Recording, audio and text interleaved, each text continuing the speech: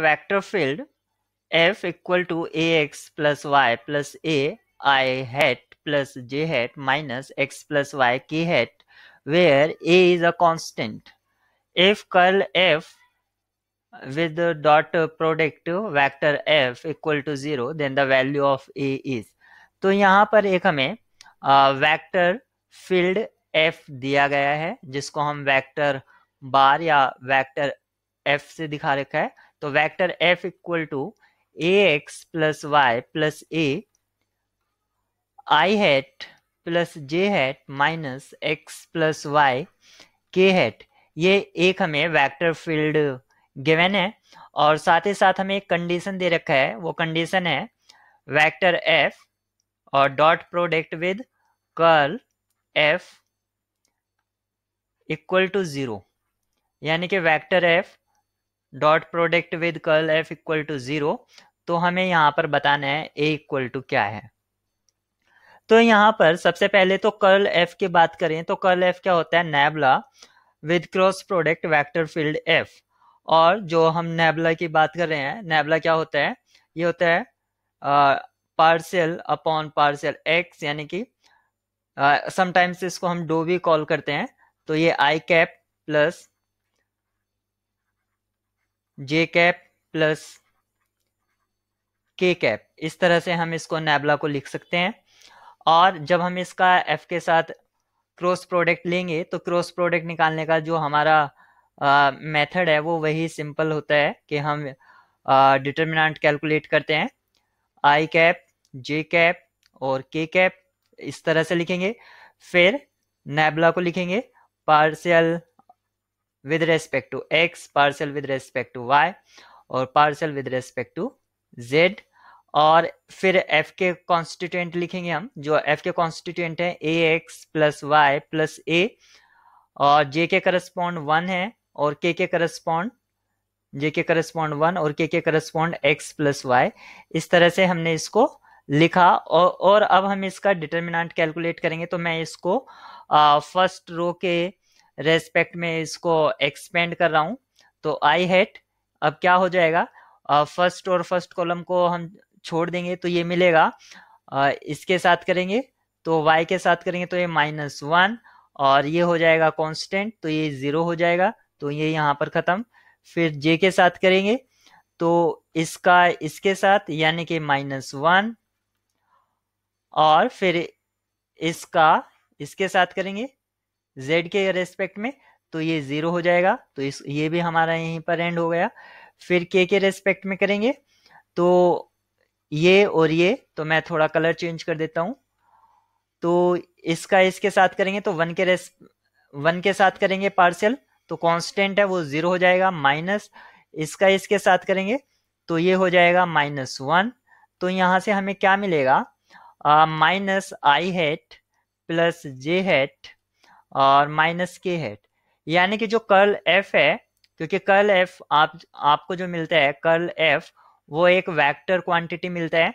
तो ये आपको मिला I hat plus J hat minus K hat इस तरह से मिलता है। और कल हमेशा, आप जो कल निकालते हैं ऑलवेज फाइंड वेक्टर क्वांटिटी कल हमेशा वेक्टर क्वांटिटी का फाइंड करते हैं। और कल फाइंड आउट करने के बाद जो रिज़ल्ट आता है यानी कि कर किसी वेक्टर क्वांटिटी का जब फाइंड आउट कर लेते हैं तो वो भी एक वेक्टर ही होता है। अब हमें जो कंडीशन दे रखी थी हम उस कंडीशन को यूज़ कर लेते हैं। वेक्टर एफ़ और dot product of curl F equal to zero ये हमें दे रखा था। यानी कि डॉट प्रोडक्ट लेना है हमें। किस किस का? आ, एफ़ का। तो एफ़ जो हमारा था एफ़ को मैं एक बार फिर से रीराइट कर लेता हूँ। उसके कॉन्स्टिट्यूंट्स क्या थे? A X plus Y plus A I hat और ये था plus J hat minus X plus Y K hat ये था हमारे पास। और जो कल एफ़ है कल एफ़ जो वेक्टर क्वांटिटी आई है, उसके कॉन्स्टिट्यूंट हैं with respect to I plus J और माइनस के अब हमें इन दोनों का डॉट प्रोडक्ट निकालना है। डॉट प्रोडक्ट तो डॉट प्रोडक्ट में क्या करते हैं? आई का आई के साथ जे का जे के साथ के का के के साथ तो इसका इसके साथ करेंगे तो सेम वही आ जाएगा। तो ये हमें मिलेगा, मैं इसको यहाँ से लिखता हूँ। ये मिलेगा मुझको A X plus A plus Y यानी कि जो एफ़ का फ़र्स्ट पार्ट था, उसको हमने सेम लिखा। और क्योंकि निगेटिव है तो इसके आउटसाइड में निगेटिव यूज़ कर लेता हूँ। और फिर जे का जे के साथ करेंगे तो ये वन हो जाएगा, और के का के के साथ करेंगे तो ये प्लस हो जाएगा तो ये हमको मिलेगा एक्स प्लस वाई तो ये हमें डॉट प्रोडक्ट मिल गया है, और डॉट प्रोडक्ट किसके इक्वल इक्वल था? वो ज़ीरो के इक्वल था तो हमने इसको ज़ीरो के इक्वल रख दिया है।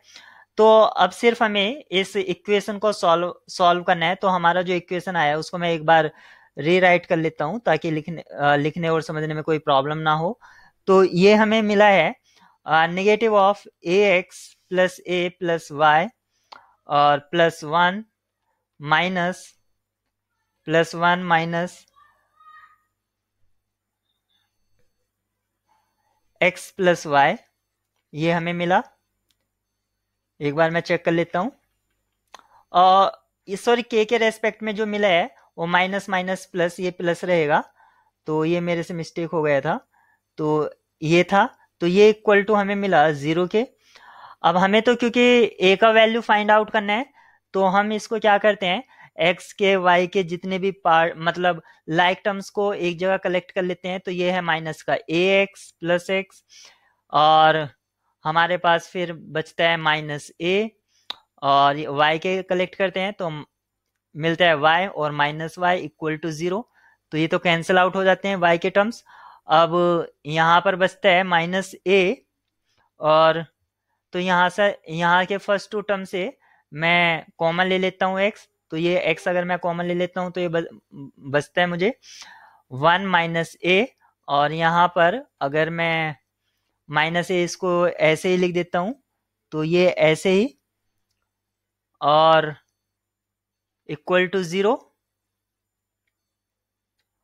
वन इसमें रह गया है, ये वन हमने कहीं यूज़ नहीं किया तो ये हो गया ए एक्स ए ये वन और रहेगा तो यहाँ पर मैं वन भी लिख लेता हूँ।